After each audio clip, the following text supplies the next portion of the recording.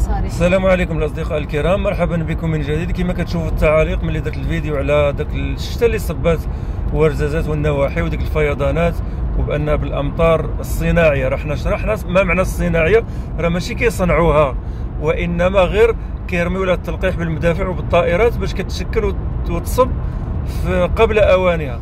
هنا كيقول لك ما كاين لا صناعي لا والو راه رأيتم الماء الذي تشربون أنتم انزلتم أم نحن المنزلون كما شفتوا التعاليق. يعني يا أخي بارك من تخرب يقول لك راه الطبيعة راه يعني يعني راه الله وراه الله هو كل شيء بطبيعة الحال. وضربنا مثال آه، المسلم متحري ادعاءات أولياء الشياطين زعما التلاحده وهاد أصحاب العلوم التجريبية يعني كينكروا ما كاينش الله وبالتالي كيضحكوا علينا بأن الأمطار صناعية. أمطار صناعية راها مصطلح فقط فهمتي؟ ها هو خلق مواقف اسبانيا لجوء المغرب للاستمطار وتلقيح السحب يعني راه إسبانيا هي اللي كتشكى وكتحذر المغرب. والمغرب راه معترف بان هذا الشيء راه كاين. هذا راه برنامج غيث منذ سنوات وما كيخدموا عليه. فهمتي؟ يعني هذا الشيء راه ماشي شي حاجة جديدة. ولكن الناس ما نعرفش علاش ما كتقبلش هذه وضربنا مثال. دابا إلى وحدين مثلا بغاو يولدوا إلى آخره أو لما شي مجوجين كاع ولا غير يكريو رحم. يعني كياخذ الحيوان المنوي ديالو البويضة مراتو وكيلقحوهم ويزرعوهم في الرحم ديال مرا أخرى. هذا راه حرام من طبيعه الحال. ولكن واش هما اللي خلقوه ولا الله اللي خلقوه راه الله اللي خلقه من طبيعه الحال. ها هو المغرب يعيد الحياة لمبادرة غيث آه لتلقيح السحوب يعني إلى آخر. راه هما جفوا الفرشة المائية. العصابة ديال أصحاب لافوكا والدلاع والتصدير والماطيشه جفوا الدنيا. ها هو المغرب الاستمطار الصناعي بالمغرب الناس كيتسعوا راه مطار صناعي. راه ماشي مطار صناعي. ماشي مطار صناعي. شكون لكم أمطار صناعية؟ هذه غير مصطلحات بحال أطفال الأنابيب. ولكن واش كاين شي أطفال كيكبروا في الأنابيب؟ لا. غير كيجبدوهم بواسطة الانبوب البويضة والحيوان المنوي وكيلقحوهم ويزرعوا في الرحم. شكون اللي كيزرع الروح؟ راه الله سبحانه وتعالى. فهمتي؟ هذا هو اللي شرحناها. يعني ولكن الناس ما نعرفش علاش كترفض الاستمطار بالمملكة وداك الشيء اللي كتشوفه في السعودية وفي الإمارات والفيضانات وكيقول لك هذا الشيء ما كانش وما كانش ظواهر.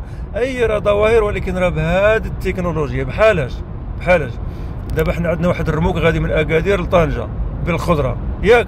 ناضوا الناس كازا راك عارف عند مع التريطوار تما وسط راسح. وهو سميتو التلوث ديال الجو. تعرضوا ليه الشمكر هذاك الرموك. اوريت له وفرقوا الصنادق. والناس داو الخضرة ودوك الدروبة كلشي خطفوا الصنادق. شنو قال لك؟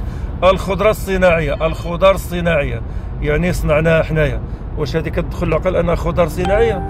الخضرة راه كانت غادية لطنجة وتعرضوا لها الشلابيه وسرقوها وخطفوها. كذلك الأمطار الصناعية ولا الاستمطار. هذيك راه سحوب متكونة من عند الله سبحانه وتعالى وغاديه باش تصب في واحد الجهة أخرى وهما كيزربوا عليها. كيطلعوا لها بالطائرات أو لا بالمدافع من الأرض وكيطيروا فيها. واحد الكيماويات معقد يعني آه، صعيب شوية باش نشرحوها. مشيو قراو عليها. وبالتالي كيتكون تما الجليد والرعاد والبراق وكتصب الشتاء. شي وحدة قال لك إيوا داك الرعد وداك البراق تا هو صناعي. شكون اللي قال لك صناعي يا صاحبي؟ شكون اللي قال لك صناعي؟ شكون اللي قال لك صناعي الله يهديك؟ راه كيرشوا على مواد كيماوية معقدة بالطائرات وبالتالي كتشكل تما النواه ديال الحبيبات وديال النواه ديال المطر وكتبدا كتصب الشتاء يعني راه ماشي هما صنعوها. هكا من عندهم العبقرية ديالهم. راه ما يمكنش. راه ما كايناش.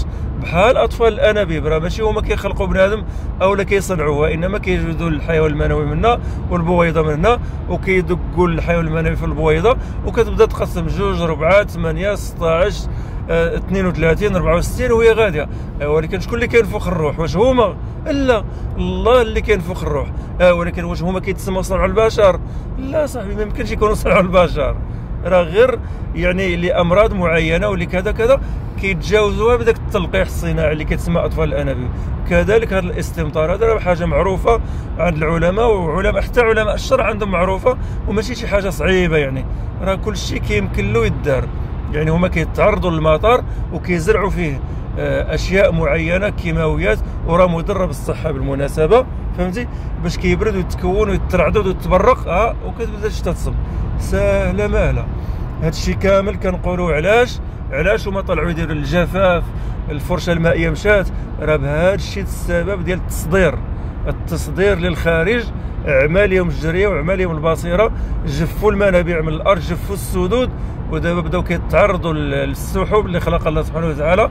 وغادي لمناطق أخرى وكيتعرضوا لها وكيطيحوها قبل أوانها بوسائل تكنولوجية جد معقدة.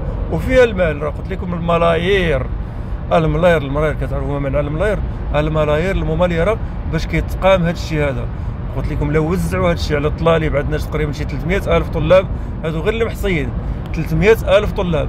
أما اللي ما كيقدرش يبين وجهه يعطي وجهه يحرق وجهه راه لعلك ترضى هاد الأموال لو وزعوا عليهم راه كل شيء يولي عايش بخير وعلى خير وما يبقاوش عندنا الشمكارة وقطاع الطرق والمرأة غادية ب 100 درهم وخايفة الشمكار يتعرض يدي ليها البسطام ديالها.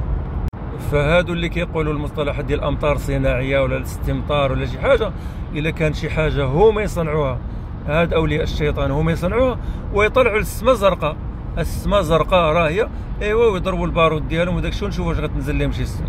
ما غتنزل حتى شي شتا ولا شي نقطة المطر فهمتي؟ الماء ينزل من السماء من ماء فيه من بارد أو كما قال الله سبحانه وتعالى. الشتاء والمطر راه كينزل الله من السماء. ولكن ديك السحوب اللي كتكون مكونة هما اللي كيتدخلوا فيها بالتفاعلات الكيماوية ديالهم وبالتكنولوجيا وكيجعلوها تصب قبل الأوان ديالنا. هذه القصة بما فيها بحال أطفال الأنابيب. وهذا كامل الهدف ديالهم هو التصدير للصحاري والدول الإفريقية والأوروبية وما إلى ذلك. والمغاربة مساكن المنتوج المحلي لا يهم المنتوج المحلي يمشيو ويموتوا المغاربة. انت ملي كتشري البطاطا ب 10 دراهم ولا 5 دراهم ولا 15 درهم ولا 8 دراهم هما راه كيبيعوها بالجملة الأوروبا واقيلا ب 6 دراهم ولا 3 دراهم. ايوا علاش ما يدخلوهاش للسوق المحلية؟ هما ماشي شغلهم السوق المحلية.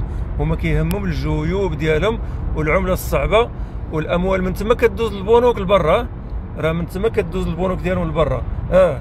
ودوك المهاجرين والزماكريه واكلات الخرطان والشاعر المكلخين كيجيبوا الأموال ديالهم للداخل وكيقول لك المهاجرين جابوا لنا 12 مليار دولار 12 مليار أورو في العام جات دخلوها المغاربة. اييه وبني كلبون داك الشيء اللي كيصدروا لبرا الأموال فين كتمشي هذيك direct لسويسرا و direct لبنما. والمكلخين يجيبوا الأموال ديالهم المغرب وفي الأخير سرقوا من المدراء ديال البنوك وداك الشيء ويهربوا. والخبار في راسو راه في راسكم.